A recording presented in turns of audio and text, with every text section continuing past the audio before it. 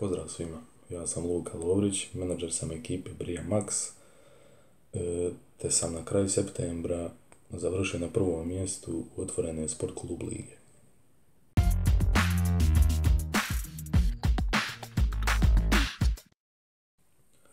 Kad sam počeo igrati fantasy, fantasy ligu sam počeo igrati od ove sezone, znači ovo mi je prva godina, počeo sam igrati od drugog kola, ja i još tri prijatelja smo se složili da zajedno igramo i napravili smo head to head privatnu ligu i na kraju mjeseca najlošiji plaća večeru. Sada imam svih šest, sedam pobjeda i dosta mi dobro ide. U Game Week 6 sam skupio 103 poena bez ikakvog čipa, što mi iznenađujuće dobro.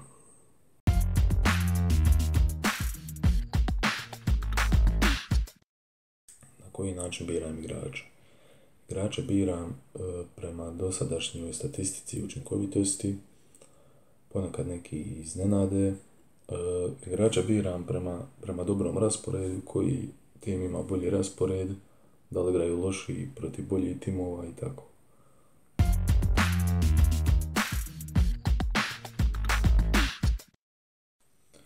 Koja mi je omiljena taktika? Pa moja omiljena taktika bi vjerojatno bila E, dobra obrana.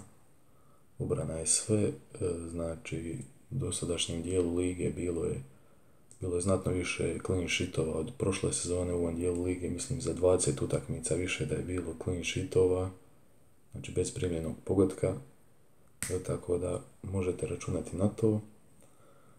Dobra obrana je uvijek dobar izbor, ne možete uvijek pogoditi strijelca tko će dati gol, ali trudim se imati dobru obranu, a napad, napad kako bude, bude.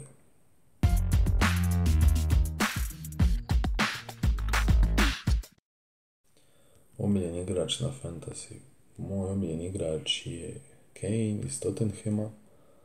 E, ono što čovjek radi ovu sezonu je nevjerovatno. E, postiže gol svaku utakmicu.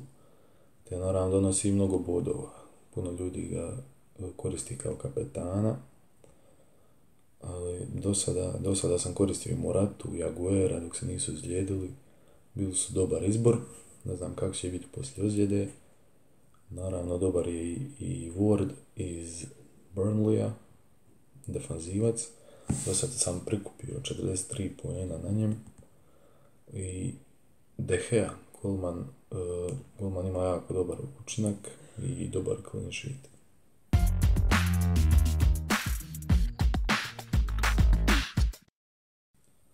Preporuke za naredni period. E, preporučio bi Richarlisona iz Watforda, ali tek nakon Chelseave utakmice, te e, Sterlinga iz City koji imaju jako dobar raspored, a Sterling igra odlično ove sezone, ne sumnjam da će donijeti po,